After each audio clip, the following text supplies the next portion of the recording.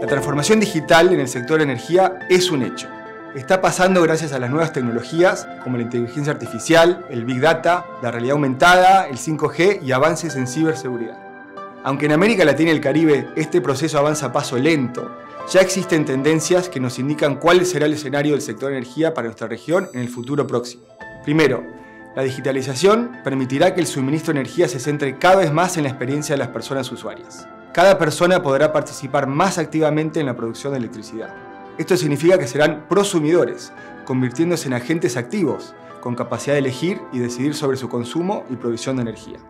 Segundo, la digitalización será utilizada para aumentar la incorporación de energías renovables en el día a día. La transformación de las redes eléctricas en redes inteligentes da paso a que éstas sean capaces de procesar mucha más información y variabilidad en el tiempo real y pronosticar con mayor anticipación y precisión.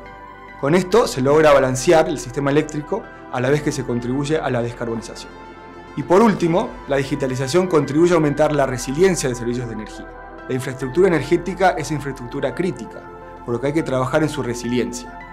Con la incorporación de sensores, conectividad y análisis de datos, se pueden gestionar los sistemas para evitar y disminuir interrupciones del servicio, ya sea por eventos climatológicos o ciberataques. Todas estas tendencias a nivel de digitalización asoman un panorama que nos acerca a tener una región con mejoras en el crecimiento, la innovación y la inclusión social.